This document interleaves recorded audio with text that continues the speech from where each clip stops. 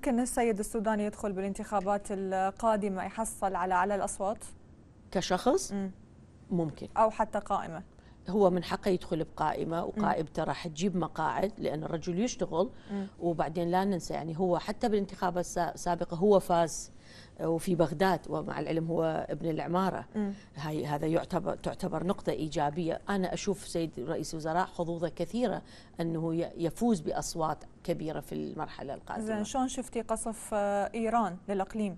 وأيضا حقيقة وجود الموساد بالإقليم. أه هذا هذا يراد لحلقة نتكلم به أنا لست مع التدخل بهذه الطريقة في أي شأن داخلي عراقي قصف زي. تركي قصف إيراني بهذه الطريقة غير مقبول لسنا ساحة مباحة م. كل من دخل قال أنا عندي مشكلة مثلا أنا هذا بيتي ما مسموح لجواريني عندما عندهم خلاف على شيء يدخلون من من غير الباب ويجاوزون على هذا البيت